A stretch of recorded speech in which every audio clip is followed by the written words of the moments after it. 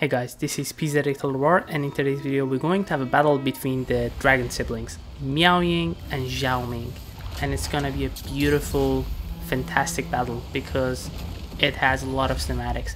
And of course, they're going to transform into their dragon forms since they have better melee attack and better melee defense compared to their human forms, which only makes sense as mighty dragons are obviously stronger than humans. So now I'm going to let you guys enjoy the cinematic scenes as these two amazing titans clash.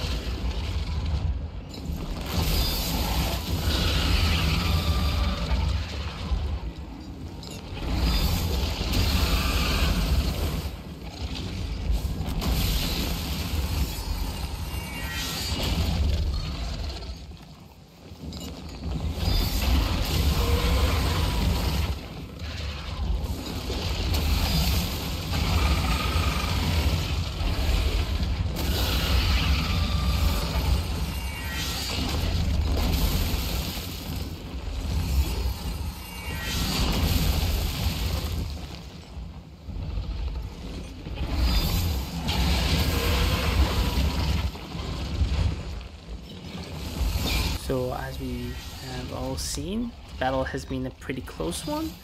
Although Zhao Ming has a slight advantage because he has retained a bit more of his health compared to Miao Ying. But we would never know because she obviously has the capability and the means to turn this fight in her own favor at any time.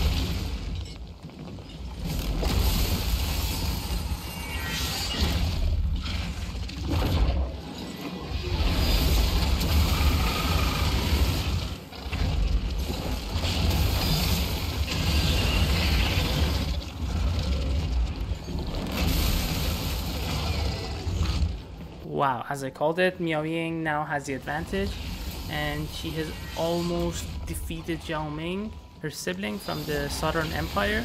And as you can see, the morale of Zhao Ming is dropping. And a couple more hits from Miao Ying to Zhao Ming can do the job and seal this fight for her.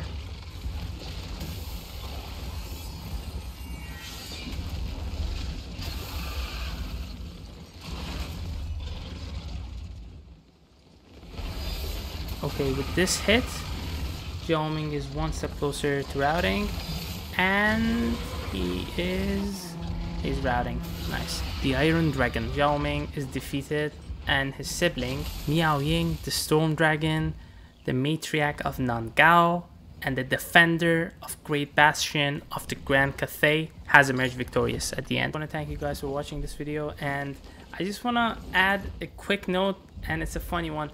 So as you can see, the movement of the two dragon siblings is in a way that you think that they are swimming in water and not really flying in the air. Let me know what you guys think about this.